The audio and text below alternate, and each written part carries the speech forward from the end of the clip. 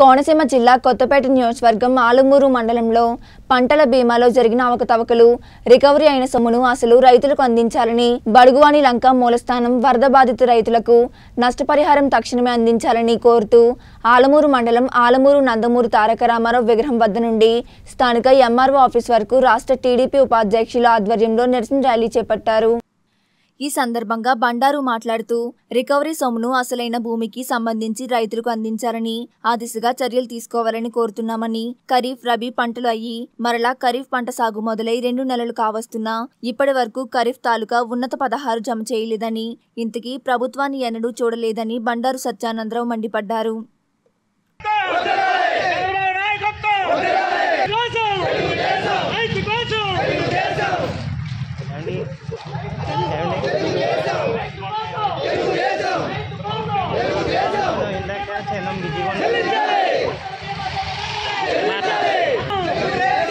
రైతు కోసం రైతు కోసం చంద్రబాబు నాయకత్వం బండారు సత్యానంద్ర గారి నాయకత్వం సత్యానంద గారి నాయకత్వం తెలుగుదేశం రైతు కోసం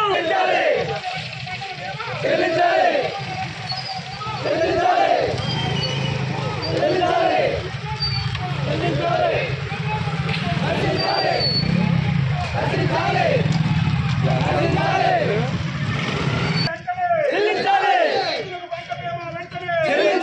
రైతులకు నష్టపరిహారం వెంటనే రైతులకు నష్టపరిహారం వెంటనే రైతులకు నష్టపరిహారం వెంటనే రైతులకు నష్టపరిహారం వెంటనే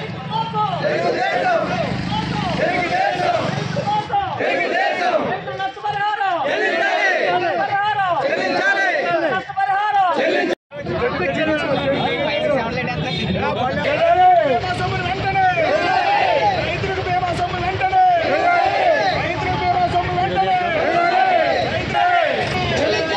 కష్టపడి రైతులకు బీమా సొమ్ములు వెంటనే కష్టపడి రైతులకు బీమా సొమ్ములు రైతులు ధాన్యం బకాయిలు రైతులు ధాన్యం బకాయిలు రైతులు ధాన్యం బకాయిలు రైతులు ధాన్యం బకాయిలు ధాన్యం బకాయిలు కష్టపడిన రైతులు పంట బీమానే బీమాను కష్టపడిన రైతులు బీమాను కష్టపడిన రైతులు బీమాను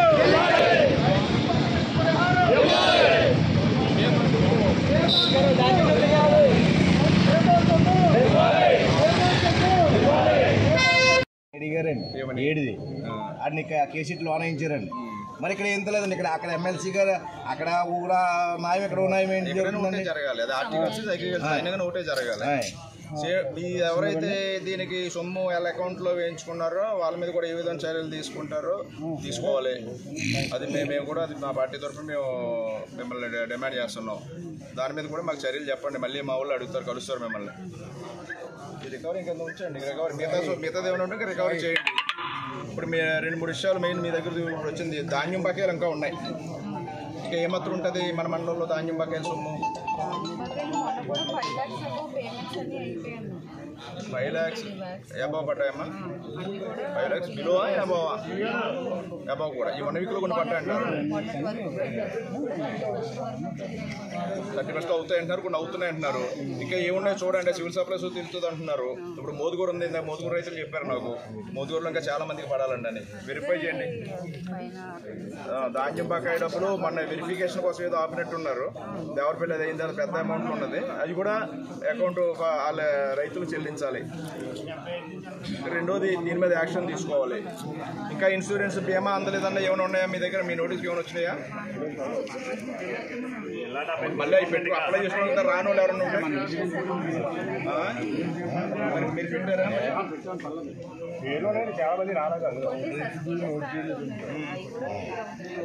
చేస్తారా అవన్నీ?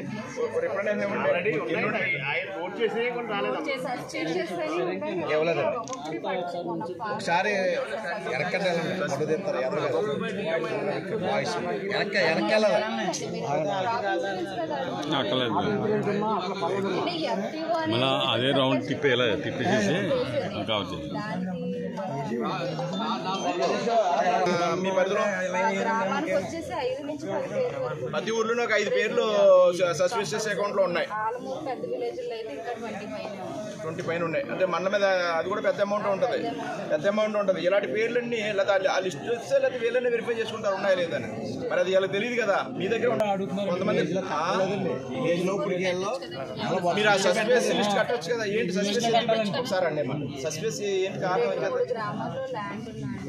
ఉదయం ఒకే సర్వే నెంబర్ డబుల్ కూడా వాటికి గ్రివియన్స్ ఇచ్చారు. మరి అవన్నీ అవన్నీ కూడా మీరే వెరిఫై చేసి వాళ్ళకి సస్పెన్స్ కాదా అనేది డిసైడ్ చేయాలిగా మీదే కదా రెస్పాన్సిబిలిటీ సస్పెన్స్ అకౌంట్ కూడా వెరిఫికేషన్ పంపేసి నెల అవుతుందండి. ఏమంటే వాటికి ఇంకా అమౌంట్ వేయాలండి గవర్నమెంట్ ఒక్కొక్కటి రాస్తున్నారు ఆ, మీ దృష్టి తీసుకొస్తే కాదు, ఫైల్ చేశారా? అకౌంట్ వెరిఫికేషన్ అయిపోయి అప్పుడు నెల అవుతుంది మీరు కాదండి పేర్లు ఉంటే ఇవ్వండి. ఇప్పుడు పై నుంచి రిలీజ్ అవ్వకుండా సివిల్ సప్లైస్ వేయాలి రెండు ఆర్బీకేలో మేము ఎవిడెన్స్తో సహా మీకు సబ్మిట్ చేసాం ఎవరు మాట్లాడకండి. ఎంత రికవరీ చేశారమ్మా? మొత్తం రెండు చోట్ల? ఇంకా చాలా రికవరీ అవ్వాలండి. మూడు వేల మూడు వందల యాభై ఎనిమిది రికవరీ అమ్మా. చింతలూరుకి వచ్చి ఐదు లక్షల ముప్పై తొమ్మిది వేల నాలుగు వందల అరవై నాలుగు. కలిసి పదిహేడు లక్షల పన్నెండు వేల ఎనిమిది వందల ఇరవై కాదమ్మ వచ్చి కూడా కట్టలేదమ్మా మేము పేర్లు చెప్పమంటే ఇంకా ఇంకా ఏమైనా ఉందమ్మా? రికవరీ చేయవలసింది. మీకు మంచిగా పాతి లక్షల దాకా ఇచ్చారు మా వాళ్ళు ఎవిడెన్స్ తోటి. మీరు ఇప్పుడు పదిహేడు లక్షల చిల్లర రికవరీ చేశారు. టూ ల్యాక్స్ పేమెంట్ పడుతుంది పర్లేదు. అది పేమెంట్ పడుతుందా? వాళ్ళు కావలేదు? పార్టీకి అది ఇంకా ఫైల్ ఉన్నారండి ఇప్పుడు ఇవన్నీ గవర్నమెంట్ రికవరీ చేశారు. మరి వీళ్ళు మీరు కొంతమంది రైతుల పేరు మీద కొట్టేశారు కదా వీళ్ళు అకౌంట్ వేసుకున్నారు కదా మరి ఈ రైతులకి ఎలాగ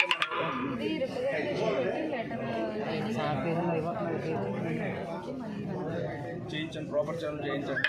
కమిషన్లోకి వెళ్ళాలి ఈ పరిధిలో కూడా ఉండదు ఏడి పరిధిలో కూడా. దీన్ని మీరు రికమెండేషన్ చేసి ముందు పంపించండి.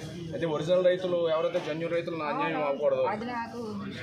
మరి ఈ కొట్టేసిన మీద ఏం చర్యలు? ఇప్పుడు వీళ్ళు అకౌంట్లు వేయించుకున్నారు కదా వీళ్ళు. ఒక సూర్యారావుపేటలో ఒక ఆయన వేయించుకున్నాడు పెదపల్లిలో ఒక ఆయన వేయించుకున్నాడు. మరి వాళ్ళ మీద ఏంటి చర్యలు? మరి క్రిమినల్ కేసు పెడతారా? మరి పెట్టాలిగా అక్కడ కూడా. ఇప్పుడు మీ ఉద్యోగులు సస్పెండ్ చేశారు కరెక్టే. సస్పెండ్ చేశారు. మళ్ళీ ఏదో మళ్ళీ దీన్ని ఏదో మాయ చేయకుండా కాకుండా ఈ డబ్బు తీసుకున్న వాళ్ళది కూడా తప్పే కదా సేమ్ టైం దాన్ని కూడా మనం మరి యాక్షన్ తీసుకోవాలి కదా దాని మీద. ఇప్పుడు నా అకౌంట్లో వేసేసారంటే కాదు కదా నేను ఒప్పుకుని నే- నే- నే- నేను చేయించుకున్నది కదా అంతానే. ఏడులో కేసు కట్టారండి. ఏడులో కట్టారు? హార్టికల్చరల్లో ఏడులో కేసు కట్టారు. ఎవరైతే డబ్బాలు అకౌంట్లో వేయించుకుని కొట్టేశారో వాళ్ళ మీద. ఇక్కడ కూడా మరి అదే విధమైన చర్యలు సేమ్ ఇక్కడ కూడా చేయాలి జరగాలి. కూడా మాట్లాడతాను ఒకటే యాక్షన్ తీసుకోవాలి. రెండు ఆ రైతులు ఒరిజినల్ రైతులకి ఆ బీమా సొమ్ము ఎవరైతే కొట్టారో రికవరీ చేశారు కాబట్టి గవర్నమెంట్ రిప్రజెంటేటివ్ పంపించి వాళ్ళకి వచ్చేలా చేయాలి. తర్వాత పంట నష్టపరిహారాలు కూడా నమోదు చేశారు కదా మొన్న వరదల్లో. అన్నీ పంపించారు కదా? హార్టికల్చర్ మీది కాదు అది ఒక వెయ్యి హెక్టార్ లాగా ఉందన్నారు వాళ్ళు. అధికారంలోకి రాకముందు చెప్పిన మాటలకి అధికారంలోకి వచ్చిన తర్వాత రైతులకు చేస్తున్నటువంటి కార్యక్రమాలకి పొంతం లేకుండా ఉంది. అది చేస్తాను ఇది చేస్తానని చెప్పి ఈనాడు రైతుల నోట్లో మట్టి కొట్టి రైతుల్ని నట్టేట ముంచుతూ ఉన్నారు ఈనాడు జగన్మోహన్ రెడ్డి గారు. దాని గురించి మాట్లాడుకోవాల్సి వస్తే ఈనాడు రైతులకి భారతదేశంలో ఎక్కడా లేని విధంగా రైతులు అమ్మిన ధాన్యానికి డబ్బులు నాలుగైదు నెలలకు కానీ చెల్లించట్ల. రైతు భరోసా పిఎం కిసాన్తో కలుపుకుని కేవలం ఏడు వేల ఐదు వందలు ఇస్తా ఉన్నారు గతంలో. ఎన్నికల ముందు పన్నెండు వేల ఐదు వందలు ఇస్తానని చెప్పారు. ఈనాడు ఎరువుల ధరలు కానీ పురుగు మందులు కానీ ఆకాశాన్ని అంటుతూ ఉన్నాయి. రైతు భరోసా కాదు అదేవిధంగా యూరియా కూడా లైన్లో నిలబడి కొనుక్కునే పరిస్థితి. ఈనాడు రైతు భరోసా కేంద్రాల్లో బ్లాక్ మార్కెట్ కేంద్రాలుగా మారిపోయాయి దగా కేంద్రాల్లో. ఈ ఈ క్రాప్ చేయాలనే పేరుతోటి వైకాపా నాయకులు రైతు భరోసా కేంద్రాల్లో కూర్చుని వ్యవసాయం అంటే ఏంటో తెలియని వాళ్ళు కూడా దందా చేస్తూ ఉన్నారు. అందులో ఈనాడు ప్రధానంగా రెండు చోట్ల మా నియోజకవర్గంలో ఆలమూరు మండలంలో రావులపాలెం మండలంలో మరి రైతులకి పంట ఇన్సూరెన్స్ సొమ్ము చెల్లింపుల్లో మోసం చేసి రైతుల పేర్లతోటి ఇక్కడ వైకాపా నాయకులు కొట్టేశారు. అది రికవరీ చేశారు ఇంతవరకు జన్యున్ రైతులకు చెల్లించలేదు.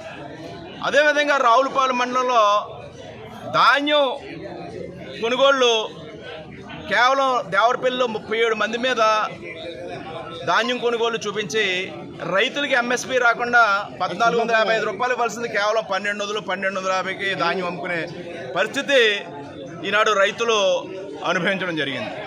ఈ రకంగా ఏది చూసుకున్నా ఈనాడు గోల్మూల వ్యవహారం.